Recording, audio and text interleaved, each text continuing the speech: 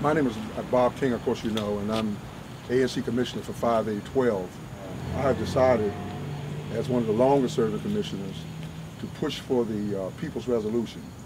Simply put, I mean, the resolution does not take a position for or against redefining uh, marriage in the District of Columbia. What it does is allows 400, 411,000 folks, the voters, to come out and have their say as they've been doing around the country.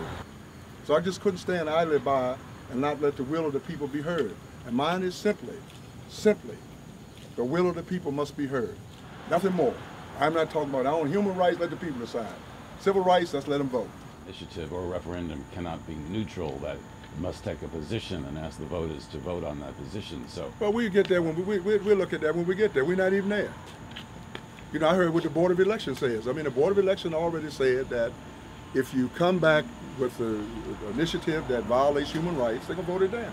an initiative defining marriage so as to exclude legally wed same-sex couples would not be permissible because it would violate the Human Rights Act in the same way as the proposed referendum to overturn the Jury and Marriage Act. An initiative or referendum may not appropriate funds, violate the Home Rule Charter, negate a budget debt, or violate the Human Rights Act. Women's suffrage, affirmative action, and the landmark civil rights legislation of the 1960s, including the Civil Rights Act of 1964 and the Voting Rights Act of 1965, would not have become law if they were subjected to a plebiscite, as you are proposing with the definition of marriage in the District of Columbia. Here's what I have for you right Oh, you got here. for me? I have the Oh. Superior Court Oh, decision. all right, I all suggest right. that you review that, and I All also right, then have we'll the talk Board some of more. Elections. All right, and we I will do- suggest that you look at the highlighted All sections right, of all these, right, okay, and you give me something have to a look at. about how this is Oh, I like that. Now, when we, when can me and you next week, you mm-hmm. call me, Okay. we sit down and have a little lunch, Okay. and we kick these two pieces around. Okay. I like that. All right. Now, now you're doing something.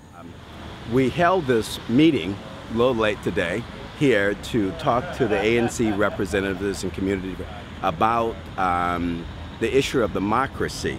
We believe that what the city council did was anti-democracy. They did not give us an adequate opportunity to air our views.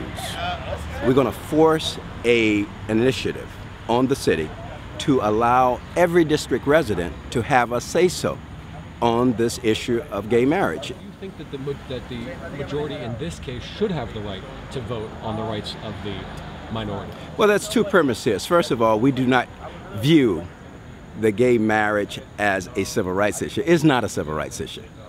It's not a civil rights issue. It's a group of individuals, less than 10% in any community, 20%, maybe 20% in this community, who want to impose this morality on the great majority. We believe that the radical gay movement do not like this institution here. And they are trying to literally destroy this institution. You cannot put human rights up to a vote, I don't think, uh, morally or legally, clearly in the uh, District of Columbia. I think there's a lot of uh, misinformation out there and uh, pre- prejudice against uh, gay people, where uh, frankly same-sex marriage wouldn't affect their lives if they don't want to marry a man or a woman.